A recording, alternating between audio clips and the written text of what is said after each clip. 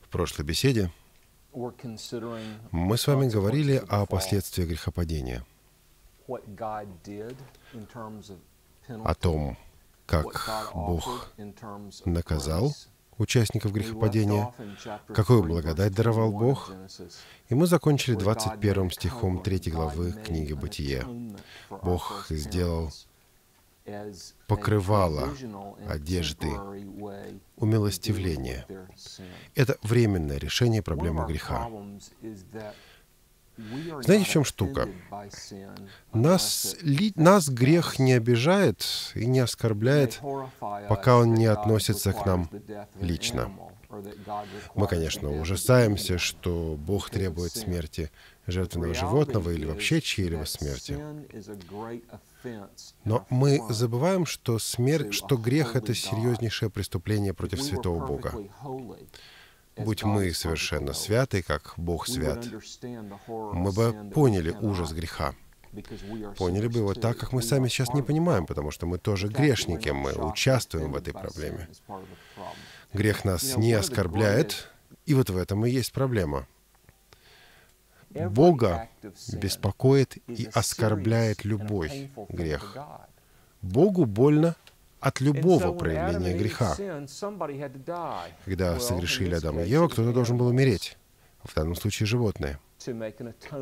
Умереть для того, чтобы понести жертву, для того, чтобы понести жертву умилостивления за них. Но это была лишь временная жертва умилостивления, лишь временное покрывало. Эти животные дали лишь временное покрывало, потому что со временем должен был прийти тот, кто даст вечное покрывало, понесет вечную жертву, после которой не нужны будут жертвы э, животных. Это кто-то Сын Божий. Вот именно об этом мы говорили в связи с 3 главой 21 стихом. Но кроме проклятия земли, кроме боли, которую будет, использовать, которую будет испытывать женщина в чадородии, кроме бесплодия в труде, которое хорошо познает мужчина, когда придется работать до седьмого пота, и когда работа может принести результат, а может и не принести. Иными словами, прибыль или результат, который получится в результате труда, может оказаться диспропорциональным количеству вложенных сил и вложенного труда. Вот это наш падший мир. И, наконец, изгнание из Эдемского сада. Адаму и Еве пришлось уйти. Именно об этом говорится в этих стихах. Мы с вами эм, проповедуем сейчас и беседуем, пожалуй, о самых сложных главах книги «Бытие», начиная от грехопадения человека и до призвания Авраама, 12 главе. Здесь перед нами пожалуй, самые странные моменты в Библии, самые трудные для понимания, самые недоступные. И один из них мы находим буквально в следующем стихе, 22 стихе. Этот стих говорит о совете внутри Божьего присутствия, внутри Троицы, как мы можем себе представить. Отец, Сын и Святой Дух участвуют в этой беседе. Но уже само по себе это для нас глубочайшая тайна. Кстати говоря, отвлекаясь на минутку, скажу, что все аналогии, которые пытаются объяснить Троицу или проиллюстрировать Троицу, в конечном счете разбиваются. Аналогия, аналогия полезна, но нельзя доводить аналогию до абсурда. Аналогия полезна лишь до определенного предела. Да, мы познаем мир по аналогии. И мы говорим, вот это подобно тому, это похоже на то. Когда мы сравниваем две вещи, похожие друг на друга. Но проблема с аналогиями Троицы заключается в том, что Бог-то уникален. Никто не похож на Бога. Ничто не соответствует Божьей природе, кроме самого Бога. Соответственно, к Богу аналогии подобрать и нельзя. Мы понимаем, что есть лишь один Бог, единый истинный Бог.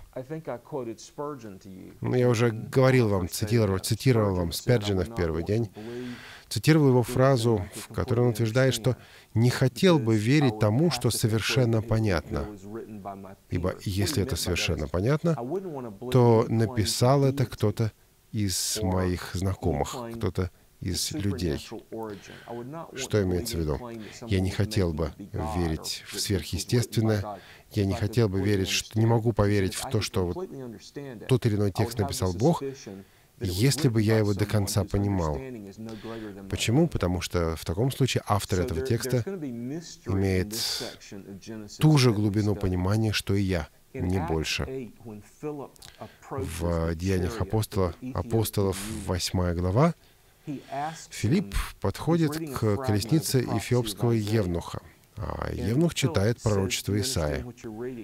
Филипп спрашивает, «Понимаешь ли, разумеешь ли ты, что читаешь?»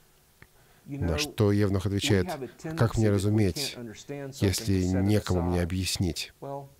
Мы очень часто поступаем так. Я не понимаю что-то и откладываю в сторону. Не буду этим заниматься. На самом деле должно быть все ровно наоборот.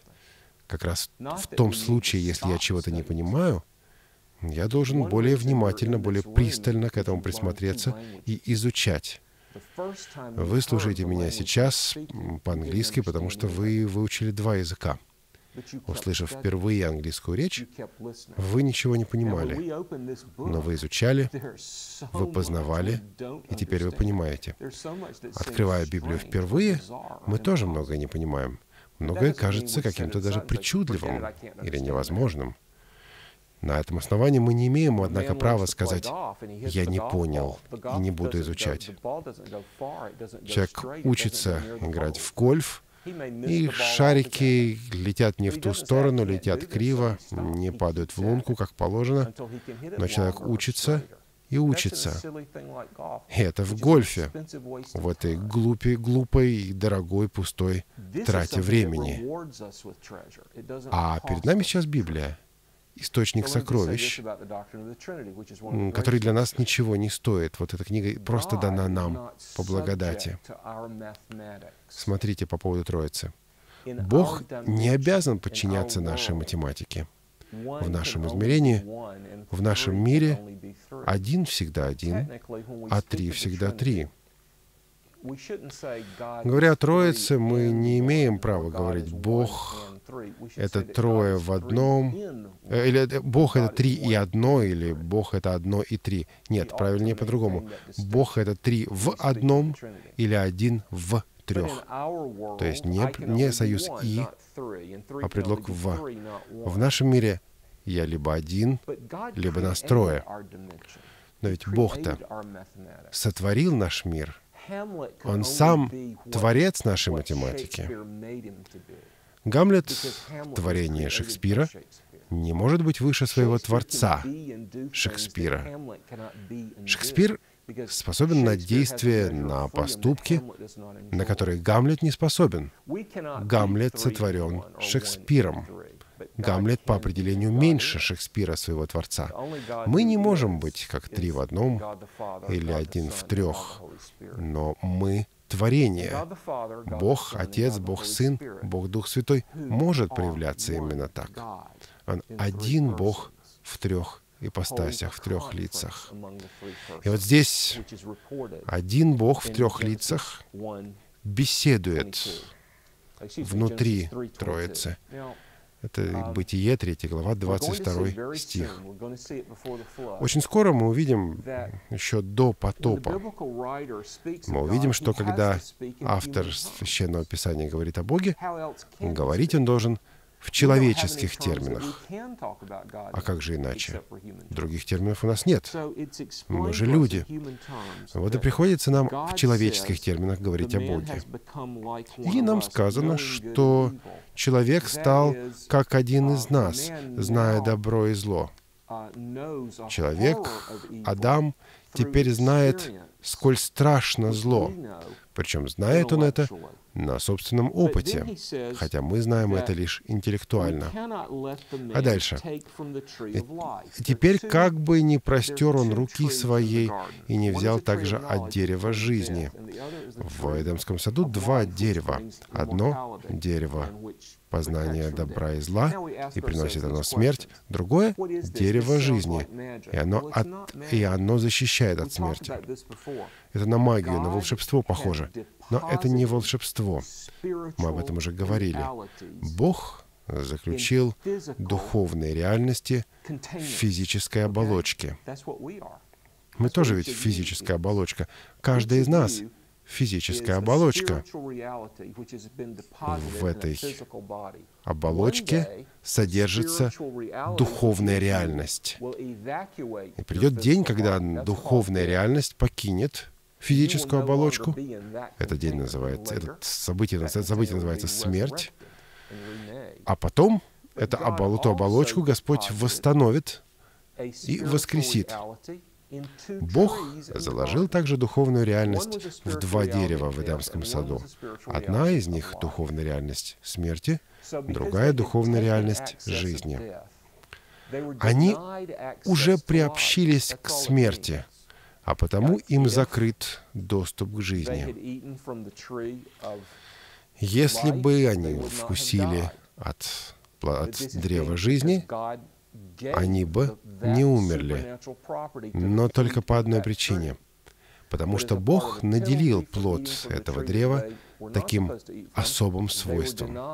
Но к тому времени они уже вкусили от древа познания добра и зла, что им делать было нельзя. Теперь к древу жизни доступ у них закрыт. У нас тоже есть древо жизни, это Иисус Христос. Если мы вкушаем от древа жизни, от Иисуса Христа, то смерть уже не имеет над нами власти. Это физическая реальность, которая помогает нам увидеть еще большую реальность духовную. Итак, Бог высылает наших прародителей из Эдемского сада, изгоняет родителей из Эдем, прародителей из Эдемского сада. И он ставит херувима, а, по большому счету даже много херувимов, потому что херувим — это уже множественное число. Херув будет единственное число, херувим с окончанием им множественное число. Итак, мы узнаем, что ангелов много. В Библии мы узнаем, что есть несколько ангелов, есть архангел, как его зовут? Михаил. Да, да в, Библии, в 66 книгах э, канонического священного писания есть два ангела, названные по именам. В апокрифах есть и другие. Но в канонических книгах архангел Михаил и Гавриил. Многие христиане думают, что Гавриил тоже архангел, но в Библии так не написано. А, Гавриил никогда не называется архангелом. Архангелом называется только Михаил. Архангел — это первый ангел или ведущий, главный, высший а высший ангел. Кроме того, мы читаем о серафимах, о тем, тех, в частности, которые парят перед престолом Божьих, Божьим в Исаии 6 глава.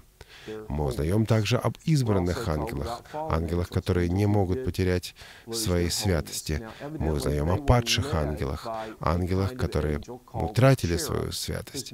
Их мятеж был под предводительством Люцифера, одного из херувимов.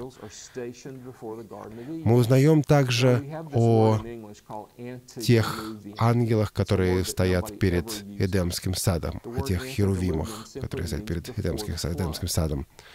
Сейчас я использую сложное слово «допотопный».